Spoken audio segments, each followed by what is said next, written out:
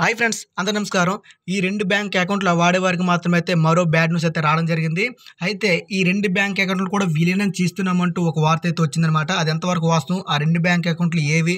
అలాగే వీళ్ళు చేస్తున్నటువంటి మార్పులు ఏంటి అనేది అయితే తెలియజేస్తాను. దయచేసి ప్రతి ఒక్కరు కూడా ఈ వీడియో మీకు ఉపయోగపడలేదు అనిపించినట్టయితే మీ మిత్రులు షేర్ చేయండి. ఎందుకంటే ఎవరో ఒకరు ఈ రెండు బ్యాంక్ అకౌంట్లు వాడేవారి సంఖ్య ఉంటుంది కాబట్టి ఇంకేమాత్రం మనం ఆలోచన చేయకుండా మన వివరాలకు వచ్చినట్లయితే మనందరూ తెలిసిన విషయమే ఈ మధ్యన అన్ని బ్యాంకులు కూడా ప్రైవేటీకరణ చేయబోతున్నారు. అయితే ప్రైవేటీకరణ జాబితాలో మరో రెండు బ్యాంకులు అయితే చేరబోతున్నాయి. ప్రభుత్వ పెట్టుబడుల ఉపసంహరణ ప్రక్రియ జాబితాలో భాగంగా మరో రెండు బ్యాంకులు ప్రైవేటు పరం కానున్నాయి. Central bank of India Indian overseas బ్యాంకుల పేర్లను ఈ మేరకు ఖరారు చేయగా వీటిల్లో యాభై ఒక్క శాతం వాటాను విక్రయించనున్నారు పార్లమెంట్ వర్షాకాల సమావేశాల్లో బ్యాంకింగ్ నియంత్రణ చట్టం కింద ఇతర బ్యాంకింగ్ చట్టాలకు ప్రభుత్వం సవరణ చేస్తున్నట్లుగా తెలుస్తోంది. అటు ఒక సాధారణ బీమా సంస్థను కూడా ప్రైవేటీకరణ చేయనున్నారని ఒక వార్త కూడా వస్తుంది.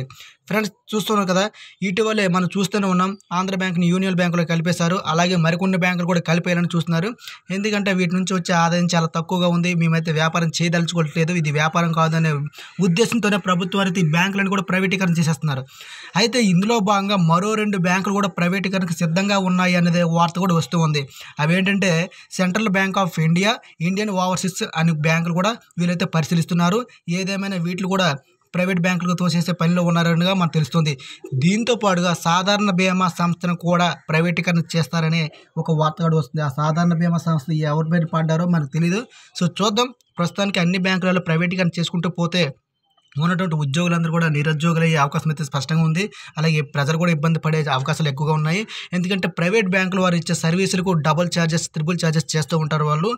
ఒక ఉదాహరణగా చూసినట్లయితే యాక్సిస్ బ్యాంక్ మనకు చెప్పుకోవచ్చు. సాధారణ ఏటీఎం కార్డు ధర వచ్చేసరికి రెండు వందల నోట్లయితే అక్కడ వచ్చేసరికి నాలుగు వందల యాభై రూపాయలు తీసుకుంటారు.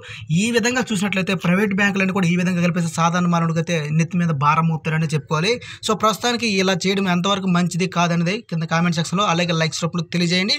సో ఖచ్చితంగా ప్రతి ఒక్కరికి ఎటువంటి అప్డేట్స్ వచ్చినట్లయితే వెంట వెంటనే నేను తెలియజేస్తుంటాను. మిత్రులందరూ కూడా తప్పకుండా మన ఛానల్ ఫాలో అవుతాను కోరుకుంటూ జై హింద్.